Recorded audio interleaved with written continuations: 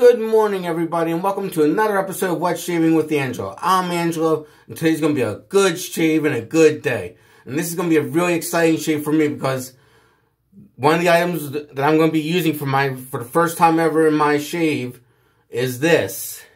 I'm going to get a better image of it. The Eclipse, let's see if you can see it. I don't know if you can see that, but this is the Eclipse Red Ring Razor with, hold on. Let's see, if, uh, oh, got upside down, sorry. With the Art Deco, I don't know if you can see that, but it's got the Art Deco Solar Eclipse design. The Eclipse Red Ring is a razor I've been on the hunt for for about two years now. I've been searching and searching for a good bargain on this razor. And I found one on Etsy for a price. I'm not going to say the price, but it was under three. I'll say it was under $300 that I paid for this razor. But let me, but, and I'm going to have my first shave with this razor. There's a few interesting things, facts about this razor. This was made between the years of 1932 to 1940 in Sheffield, England by McNeil and Company, or by Robert McNeil and Company. Um, other facts, I, what do I have written down? Sorry, I, I'm reading my notes.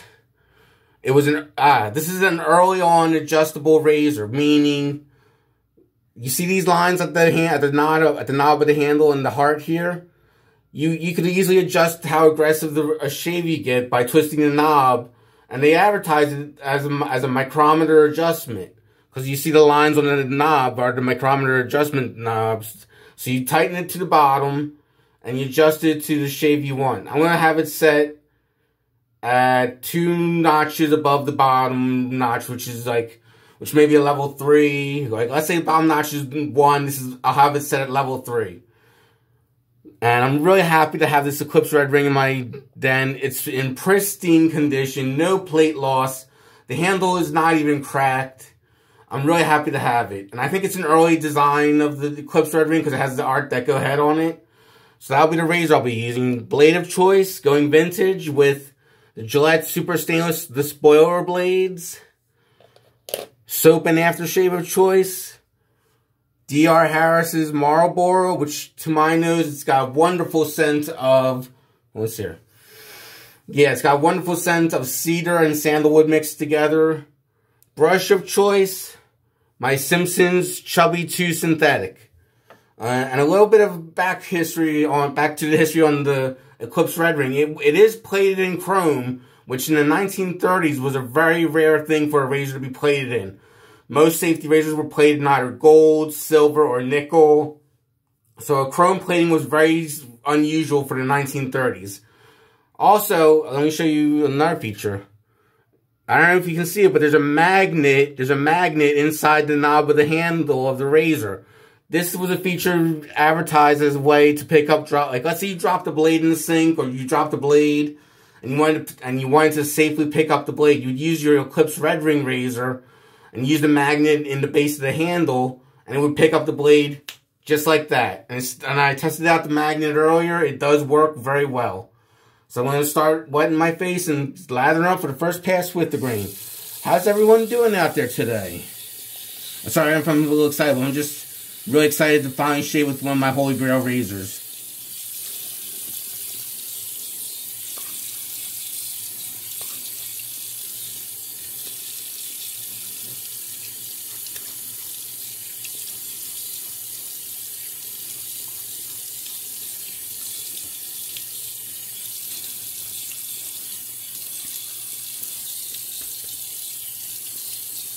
But I'm really excited to finally have this in my den.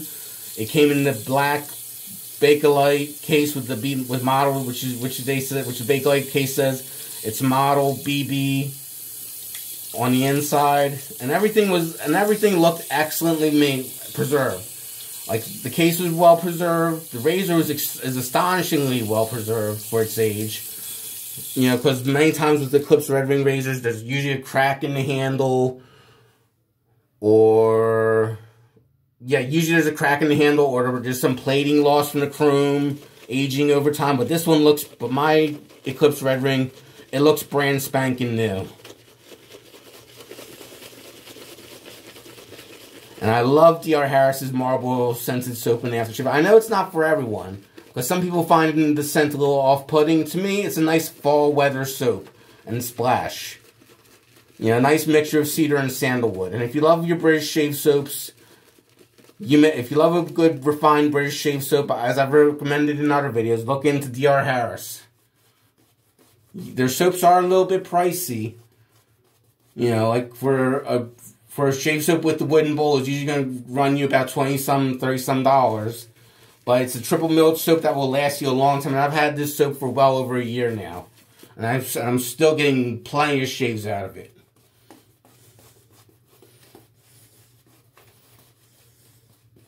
Actually, I might have had this for a year and a half.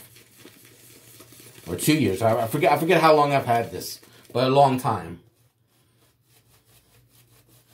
Definitely. Like at least a year and a half or two, or a year, year and a half I've had this DR Harris shave soap.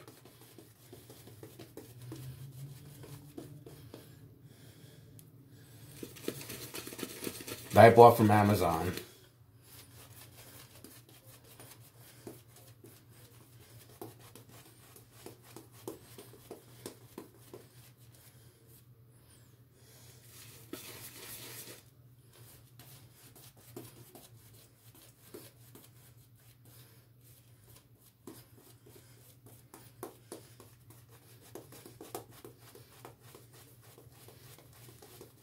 But I get but I get a fantastic lather from this soap still today. Maybe a little more water. Let's get a little more water and a little more product to brush. Get a nice even coating. There we go. There we go. That's the lather I'm looking for. And I find DR Harris soaps to be very pleasant to use. There are better, if you're not a fan of their Marlborough soap and aftershave, they have much more pleasant scents like Arlington, Windsor, Lavender, they have all different scented soaps and creams that are worth checking out. Especially their soaps being triple milled. You get a lot of bang for your buck out of that. Especially from an old British brand like DR Harris, which has been around since 1790. Starting out as a perfumer.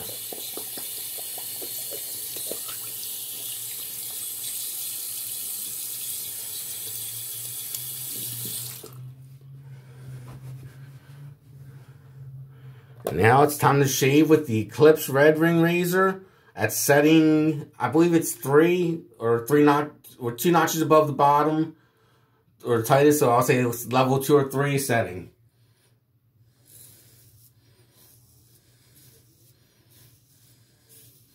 And another thing to note to note is it's got a it's got a hybrid head, head where it's a mixture of both closed comb and open comb at the same time on both sides.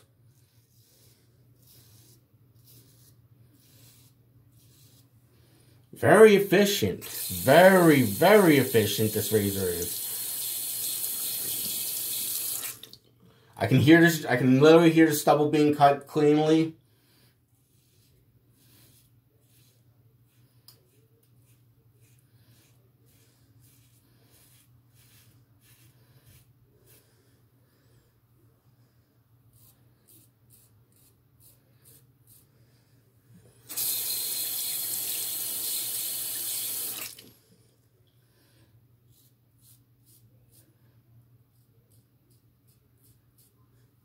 I'm actually, I'm actually going to tighten up the razor to the bottom because I do sense quite a bit of blade feel.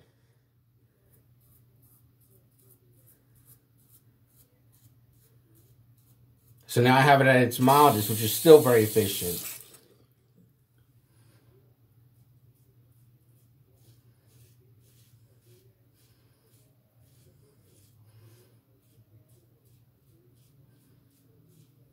Great razor. Back when quality meant more than anything else than making a razor.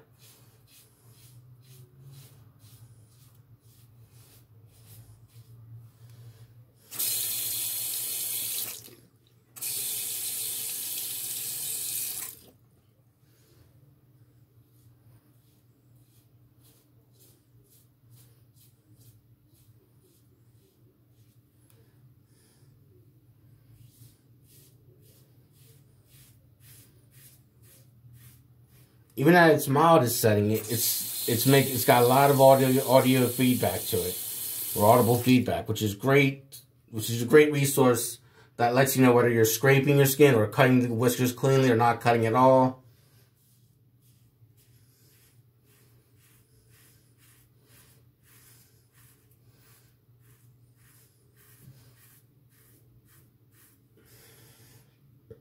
Excellent razor. Now I see why a lot of wet shavers covet this razor so much. It's just an excellent performer. And it does take modern blades. Even though the original Eclipse Red Ring blades, or even though the original Eclipse Razor blades were the curved blades with the three holes in them, they this razor will accept the modern make double-edged blade.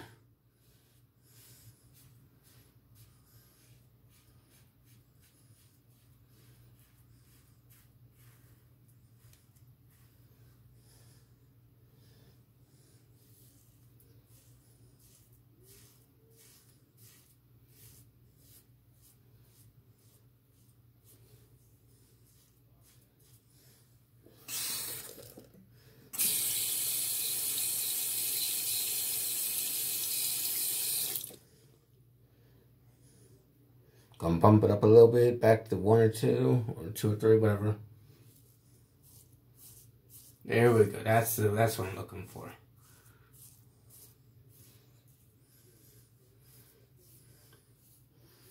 I think underneath my on, on my upper lip, I had to be more careful than I usually do with the rest of my face.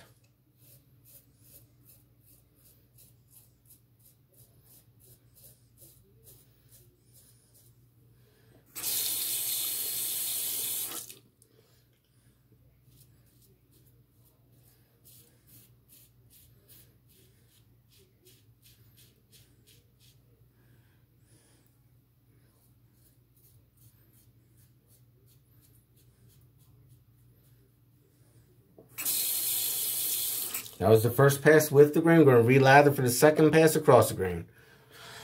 And the first pass was very nice. Very nice. I'm going to keep it at the level 2 or 3 setting that I have it at right now.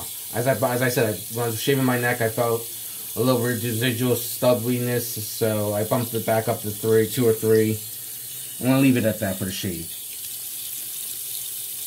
I knocked it down to 1 for the um, upper lip area.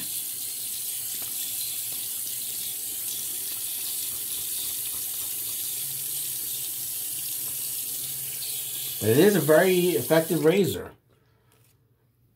Like, it, like it's, it's, I won't say it's super aggressive, which I don't need a super aggressive razor all the time, but it's efficient enough to knock down my stubble. Very efficient. It's a very efficient razor that feel that to me feels very comfortable to use, which is important in a razor. It has to be efficient and it has to be very comfortable. I'm not saying mild, I'm just saying comfortable, like enjoyable. Because otherwise, what, what's the point in using a razor if it's too aggressive?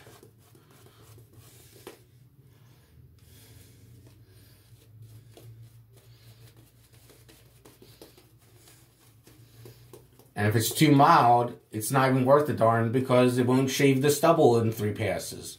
Or not, or even just, because I've, I've, I've bought razors that were too mild for my liking that left too much to be desired after the third and final pass.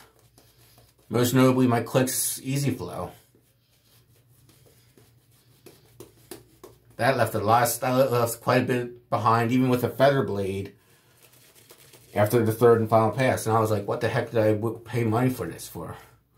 I don't know, just my personal opinion. Maybe I'm, maybe it was just a razor I had at the time. I don't know. But yeah, there are some razors that are too mild for their own good, and there's razors out there that are too aggressive for their own good. This seems to be a good middle ground razor, even though it's adjustable and you can change how mild or aggressive a shave you get. I think they say from what I've read, you can knock it, you can bump it up to like five notches, four or five notches from the original bottom notch. Because again, there's no numbers on the Eclipse Red Ring, but you just gotta know what you're doing. Time to go for the second pass again across the grain. Just lovely.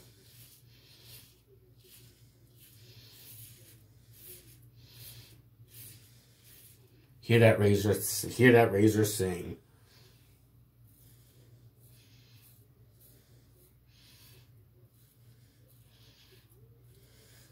Just a beautifully made razor.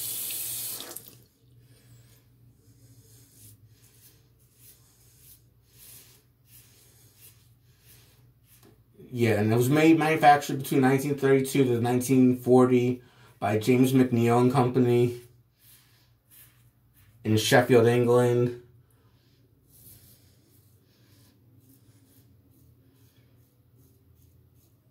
And from my research, the company was originally well known for their magnets. And so they incorporated magnets into their razor, which I'm surprised more razor manufacturers haven't done what the Eclipse Red Ring did in putting a magnet at the base of the razor to pick up drop blades. Because that was really an ingenious idea right there. Having a razor that could pick up drop blades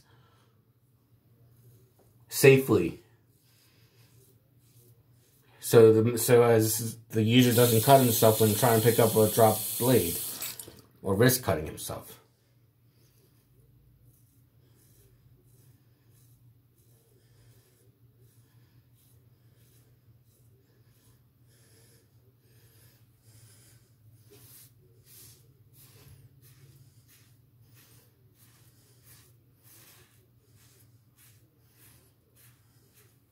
So far, it's just a fantastic shade. I'm very happy to have this in my den.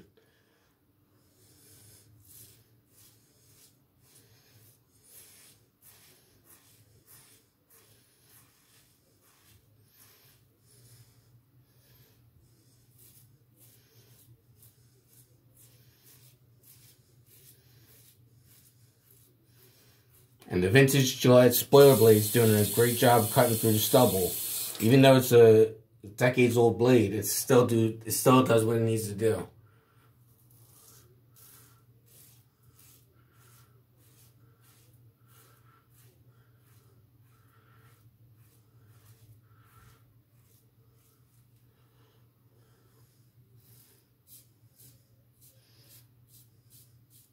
And I will say this about the Harris soaps, they're very slick once you get the right amount of water to product ratio.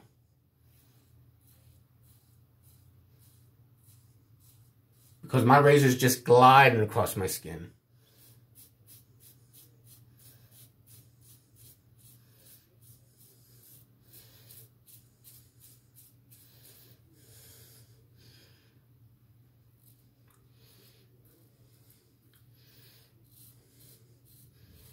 And I'm really loving the hybrid comb action of this razor, which is, which, which as I said earlier, it's a hybrid of an open and closed comb on both sides.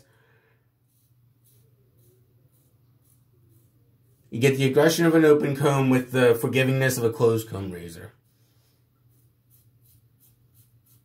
And I'm surprised, this is another feature that I'm surprised more razor manufacturers don't follow suit in re replicating.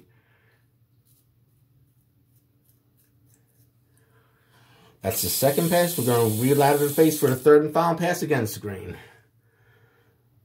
Just a great shave overall today.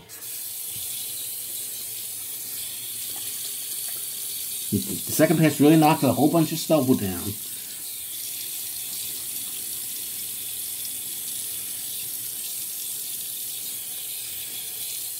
We're going to put a little more water to the brush. This way we get all that slickness and usability of building a great lather. This is a great soap anyways. Even if, like, even if you don't want the wooden bowl with the soap, you can buy the soap pucks by themselves for a fairly reasonable price depending on which vendors you go to, you just got you just gotta know your prices and whatnot, and know what you're willing to spend. But man, this is a great soap, Marlborough by D.R. Harris. If you like a good cedar wood and sandalwood scent mixed together, this is your soap to turn to. It's a simple two two note soap with cedar cedar and sandalwood.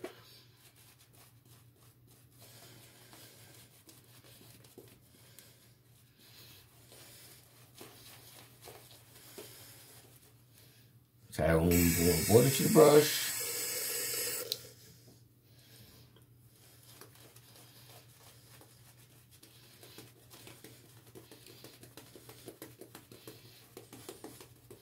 Put more product on, why not?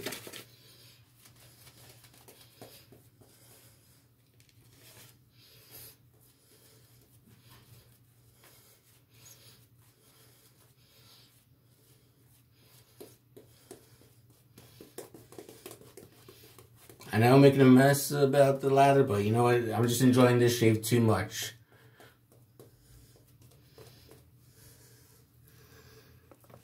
This is just too good a shave to pass up on. We're going to do partial. Great soap, great razor, great blade, great everything. And you know what? For the final pass, I'm going to knock it down back to the to the lowest, mildest position for the against the grain pass.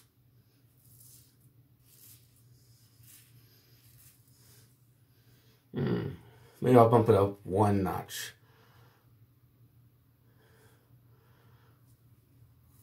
That's it.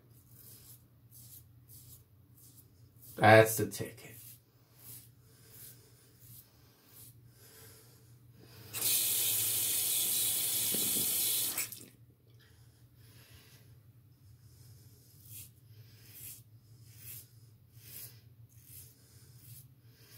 At level one, it was like doing next to nothing, or it didn't, or it sounded like it was doing next to nothing. But at level two, you really start hearing it cut through the stubble with ease. Oh yeah, that's that's the stuff.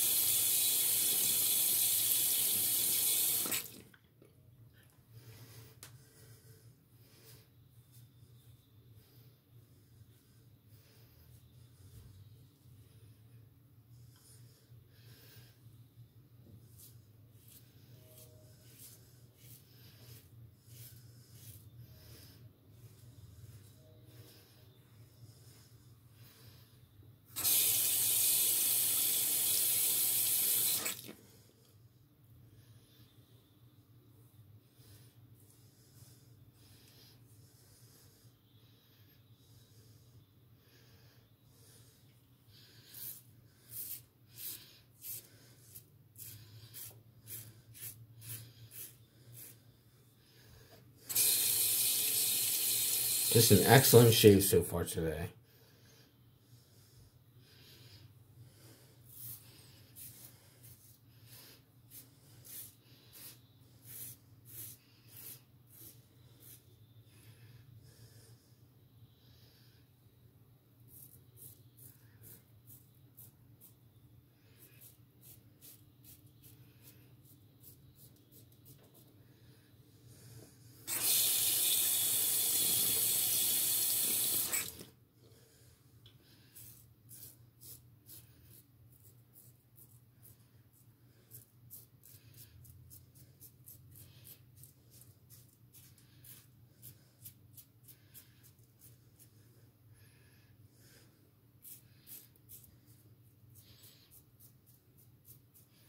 Okay, that finishes the shave part of it. We're going to use our styptic pencil just just to staunch a few minor cuts I got, which I was probably which I probably got from yapping too much or not paying attention because this is a new razor to me.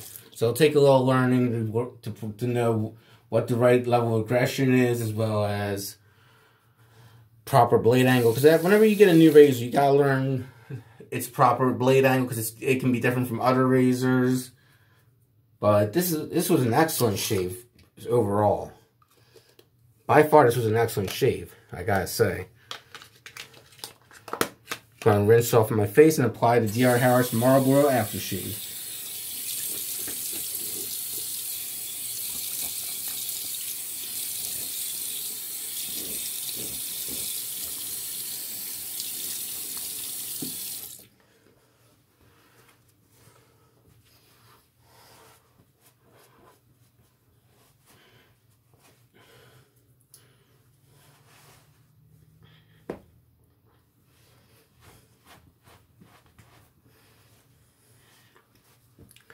Time to splash on a little DR Harris Marlborough. Same scent as the soap, cedar, cedar and sandalwood. That's good. Just a classically refined British scent. Oh, love the burn.